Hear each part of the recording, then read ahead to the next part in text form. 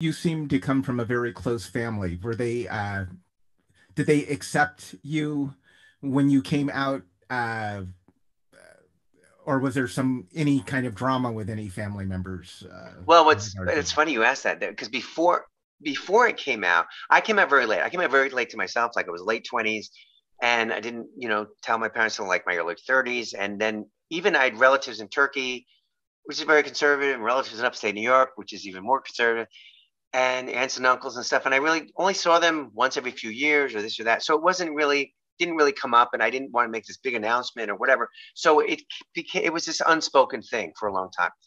And um, but when I went to write the book, I'm like, okay, I'm writing this book now. It's gonna, which I clearly am saying, saying in the book that I'm gay. So so I sent letters to upstate New York to my aunts and uncles, you know, letting them know, you know, and kind of in a just explaining to them. And then even in Turkey, a few cousins and that speak English, and I, I sent them just so it wasn't this big secret, like there's something wrong with it, I'm hiding it, all that. Just, they needed to know. And my aunt, one aunt sent me immediately sent me, uh, not sent me, called me and left this beautiful message on my machine. You know, it was so sweet. My other aunt sent me a nice little letter. You know, we just want you to be happy and all this other stuff. And it's funny in the letter I said something like, um, I was explaining to them, you know, the, even uh, some animals are gay, and gay doesn't mean you're a pedophile. And this, I'm explaining all this stuff. And so when my aunt wrote me the letter, she goes, you know, we're, we're from the Adirondacks, not Mars. Like they, they knew more than I thought they knew, but it's a really small town. So I don't know what, you know, what their things are sometimes. And then uh, you know, and the relatives in Turkey, which you know, the cousins were okay.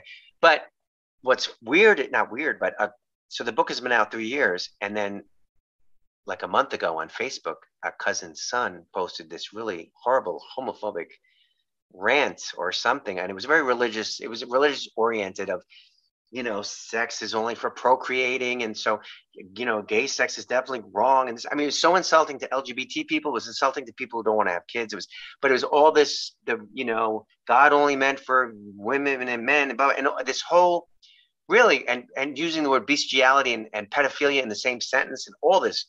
And I was like, no, no, no, no, no. We're not going to just let that sit there on Facebook. It just happened to pop up in my newsfeed.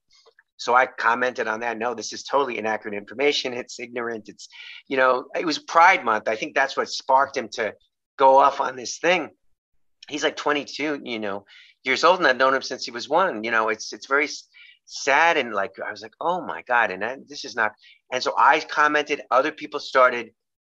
You know, he had a few people come to his agree with him, but most people like you're wrong about this, or you know, wake up, or even my mom chimed in, which is probably hard for her, you know, because it's doesn't want to stir up things with the family, but it was so offensive the post, and against LGBTQ people, up against all, and it's this whole religious brainwashing stuff, and uh, you know, my another cousin's son was, um, or I don't know if it's my second cousin, I don't know what you call him, but he sent me a nice little message. Oh, sorry about what they wrote, and you know, I didn't even know he knew about me being gay and stuff, but it was kind of cool in this day and age. First of all, that's just no, it's not. You're not going to stand for it anymore. That kind of just ignorant, you know, stuff. Because somebody even said, you know, you're more likely to be um, abused by a priest than a someone gay. Because you know the whole the whole thing was like just so people coming to the defense of LGBTQ people.